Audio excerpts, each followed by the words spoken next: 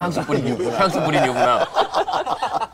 그래서 그분도 당황을 하셨대요. 네. 어. 제 번호라는 사실을 알고. 아니 근데 말씀은 이렇게 얼떨결에 전화번호를 주셨다고 하지만 사전에 준비를 철저하게 하셨던데 보니까 조사를 아나운서에 검정고시 아. 출신의 수재에 게다가 4대 보험 되지. 보험 무슨 말이에요? 네? 그 아나운서들 다. KBS 아나운서들 어, 4대 그래요? 보험 될거 아니에요. 아니, 뭘 이제 아는 아니, 거 아니. 같아요. 그래서 선택하신 거 아닙니까? 아니요, 아니요. 그 그럼요. 검색은 네. 그 유부남이라고 알고 나서 네. 그 검색을 한 거죠. 그러니까 제가 그분에 대해서 너무 모르니까 아. 검색을 했더니 어린 거예요. 그 거기서 이미 멘붕? 저보다 어려서 너무 나보다 어렸어? 몇 살, 몇 살이 어렸어요? 두 살 두 살? 어려요. 네. 오. 거기서 이미 깜짝 놀랐죠. 어, 그때 뭔가 마음이 확 이렇게 아니야, 전 절대 그렇지. 않았어요. 예. 아 그래요. 왜냐면 어리기 때문에 저는 여태까지 제가 10년 내내 방송하면서 항상 했던 이상형에 대한 답변에 어리면 안 돼요를 얘기를 했었거든요. 아, 어리면 안 돼요. 대단하세요. 대단하세요.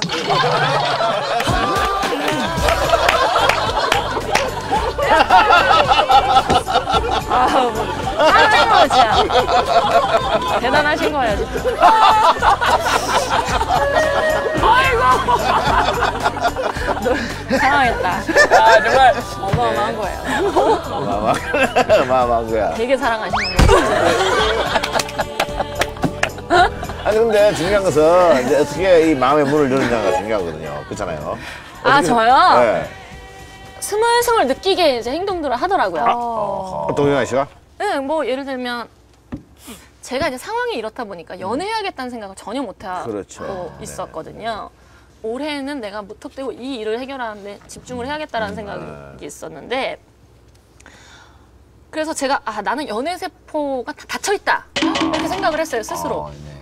그랬는데 어느 날부터 뭐 지방 다녀올 때도 보통 제가 차에 한 하루 나가면 10시간 넘게 차에 있잖아요. 그렇죠, 그렇죠. 근데 그럴 때마다 그, 그 메신저로 뭐 심심하면 자기랑 이야기하고 놀자 뭐 이러더라고요. 저는 안 심심하거든요. 저는 되게 잘 자거든요, 차에서. 그 노래 연습도 해야 되고. 어, 예. 진짜 바쁘거든요, 차 안에서도.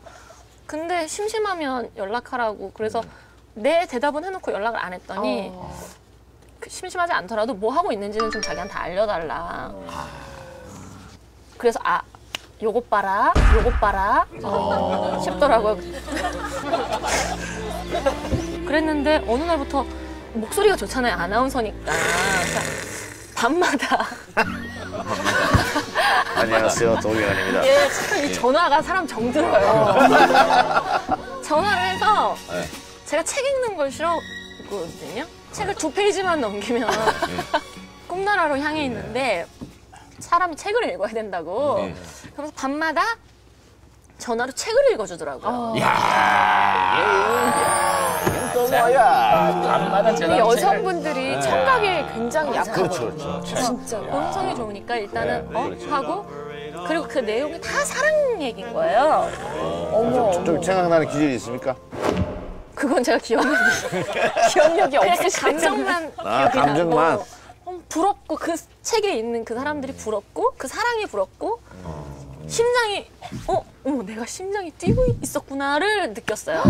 갑자기 이렇게 뭔가가 딱 깨인 느낌이랄까? 그러니까 내 연, 닫혀 있었다고 생각했던 내 연애 세포가 확 열리는 느낌. 어. 네, 그랬어요. 예, 그래서 예. 그때부터 좀 마음을 열고 예. 이야기를 듣기 시작했죠. 그러니까 동영아 씨가 저한테 다가오긴 했지만 제가 이런 표현 죄송한데 예. 제가 동영아 씨한테 이렇게 물들었던 것 같아요. 이렇게 담겨진 건 떠낼 수 있잖아요. 근데 어느 날 보니까 물들어 있었어요. 야, 표현이 어, 아름답네. 표현이 좋네요. 왜냐하면 담겨지는 건져내면 되는데 네. 이게 물이 젖어 있다는 거죠. 네. 찌꺼기 떠 있는 거니까 젖어 건져내야 있는 되죠. 거야. 이렇게 흠뻑 젖어 있는 거야. 빠, 네. 이제, 이제 빠, 빠져나올 수가 없는 거죠.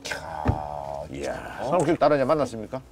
어 따로도 물론 만났죠. 근데 그때는 뭐 그런 생각 전혀 없었고 술한 잔 사달라고 계속 그러더라고요. 아, 그 동영아 씨가?